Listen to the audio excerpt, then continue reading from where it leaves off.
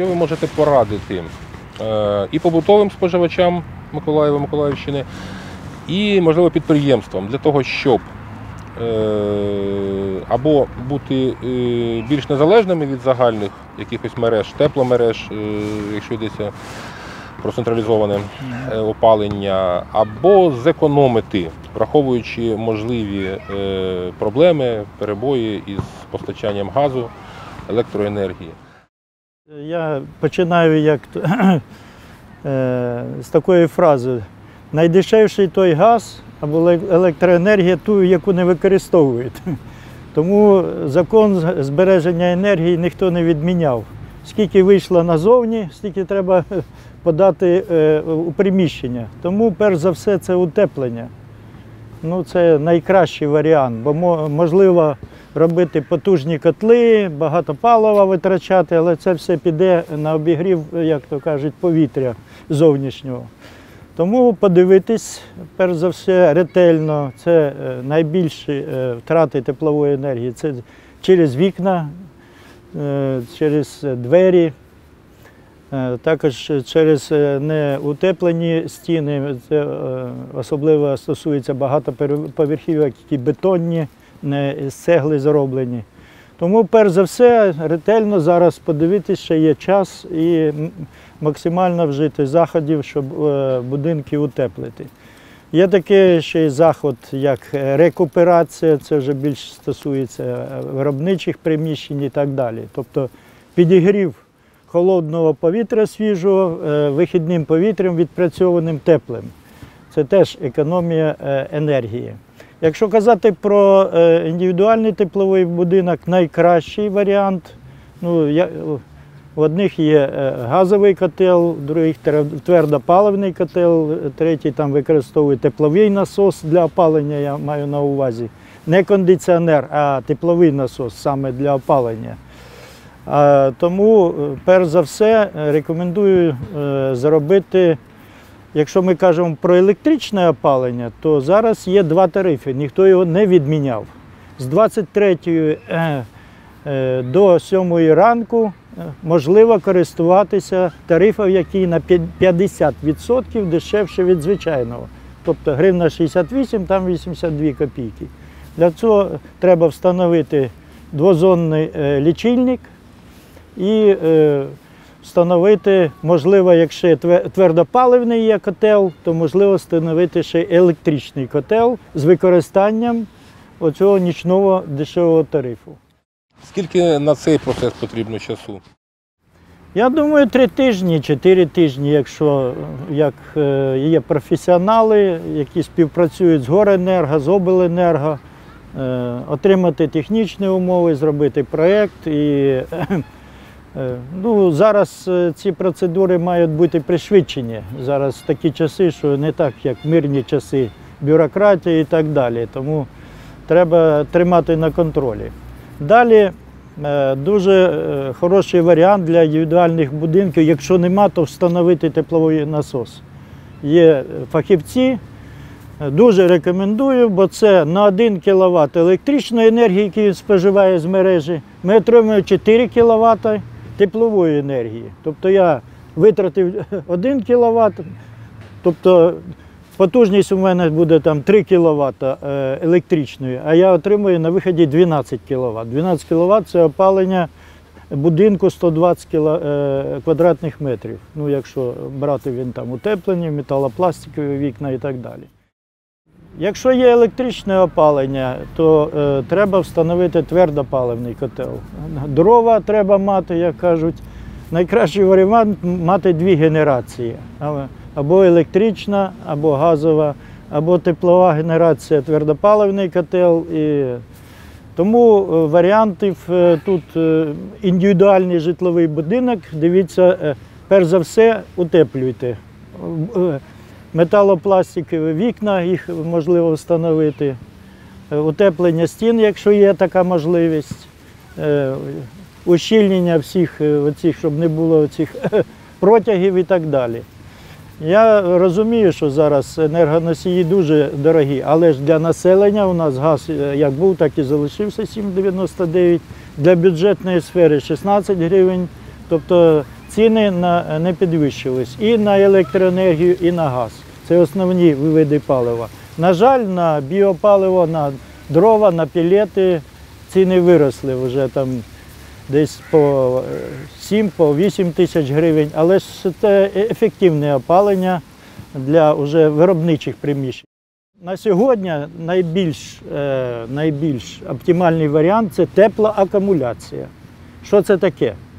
Це накопичення теплової енергії, і в разі, якщо щось трапилось, відключили і так далі, у тебе є якийсь запас. Є твердотільні теплоакумулятори, це конвектори зі спеціальними теплоакумуляційними блоками. Він важить десь 150 кг. Нагріваємо ці блоки вночі до 700 градусів, і троє чи четверо е, діб можливо тримати температуру нормальну в приміщенні. Є водяний варіант, тобто вставити е, теплоакумулятор водяний на 700 літрів, на 500 або два там по 250, накопичити там е, гарячу воду 90 градусів і можна втриматись, якщо буде відключення чи аварія зараз у воєнний час. Тому, перш за все, треба звернути увагу на е, оці енергозберігаючі засоби.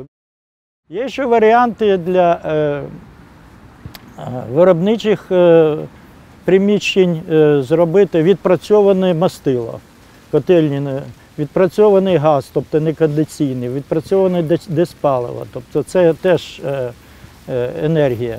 Якщо казати про системи опалення для виробничих, то перш за все я рекомендую це там стелі не 2,5, а вище 3 метрів стелі, тому там треба обов'язково робити променеве опалення, інфрачервоне. Є електричне, а є водяне. От водяне можливо використовувати пілети, газ, електрику, от, е, багатопаливне.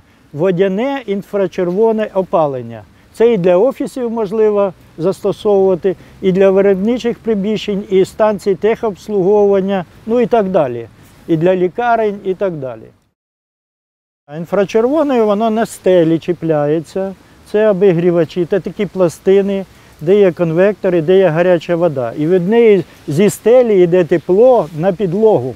Просто джерелом там є гаряча вода. Де джерелом є Не гаряча електронагрівач, а, А тут дивіться, якщо е, у нас інфрачервоне електричне, то тільки електрику можливо застосовувати. Е, Тут можливо застосовувати газ, електрику, пелети, дрова для підігріву води. для підігріву води. Тобто будь-який котел підігрів воду і подавай на інфрачервоний стильовий.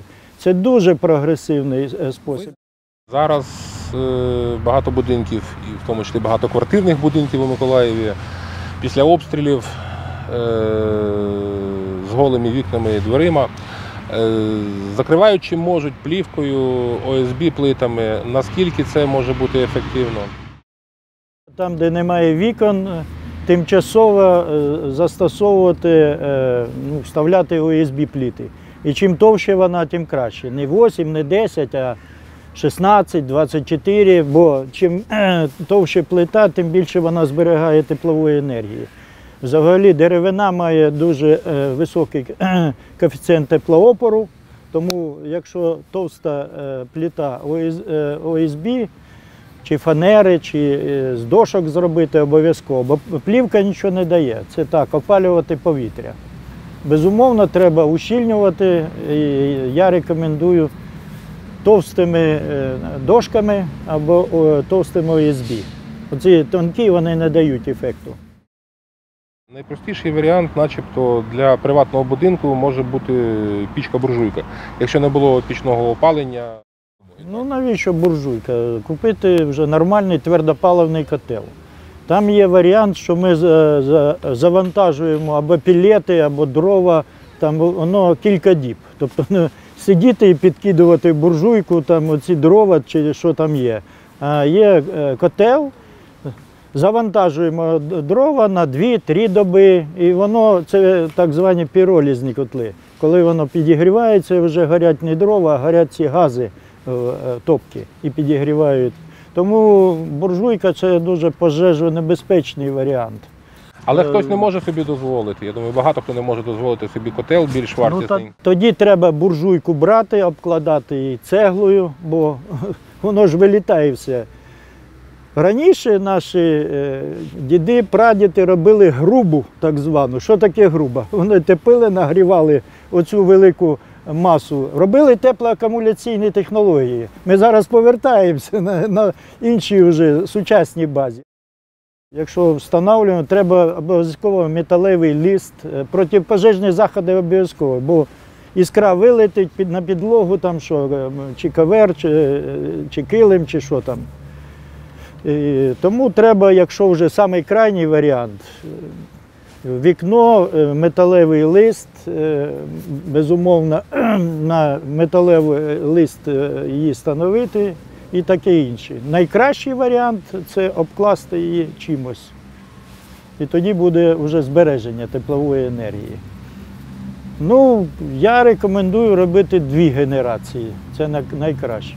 Оптимально це газовий котел і тепловий насос.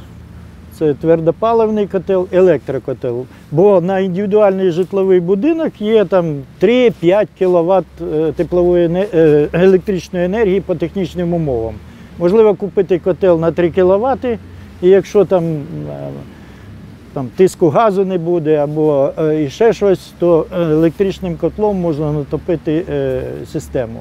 Найкращий варіант, що до котла ще встановити бойлер, я вже казав. Накопичувати енергію, щоб у вас була на той період, коли ну, обірвалось теплопостачання.